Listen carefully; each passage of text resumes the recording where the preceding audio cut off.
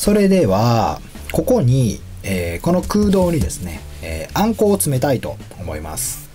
であのーよくスチレンボードとかでね、あの作るということをよく推奨されてますが、えー貧乏な私はそんなものは持っておりませんのであの発泡スチロールの廃材ですねえー何かの家電製品に入ってた、えー廃材なんですけれども非常に形が綺麗だったので置いてたんですけれどもね。これを使いたいと思います。でこれをまあここに入れていくということですね。長さをね測ります。縦の長さがこのこのくらいかな。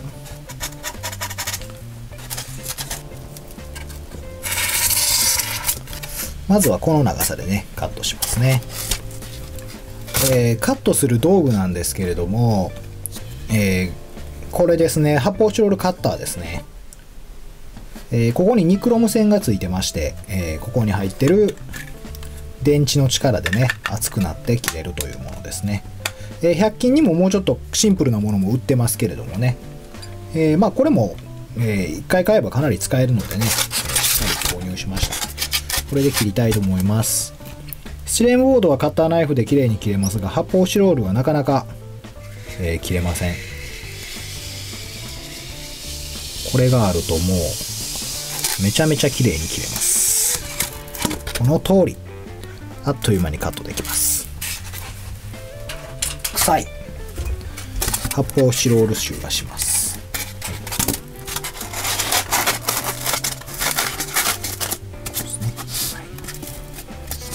で、えーっと、ここはこれだけ余りましてこれだけ足りないですね。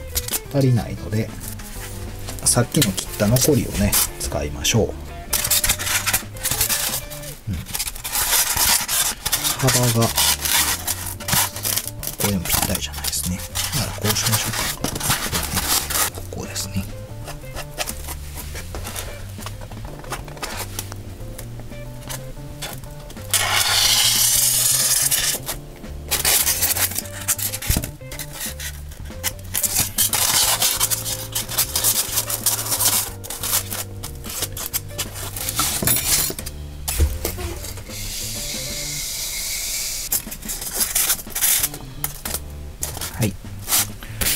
まあ、こういう風にしまして、えー発泡スチロールが切れました。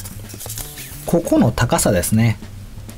ここの高さが、えっ、と、これを、これが一番底敷きとして、この上に、まあ、えっ、と、紙粘土を盛りまして、その上から、まあ、いろいろ持った上でここに来ますので、この高さより下にある方がいいんですね。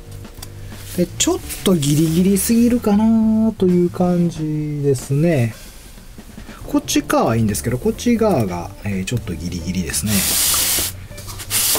この辺なんかもちょっと低いかなっていう感じなので、ちょっともう段差をつけようとすると、え足りなくなるっていうんで、少しこれを下げたいと思います。えー1センチ程度幅をスライスするという感じにしましょうかね。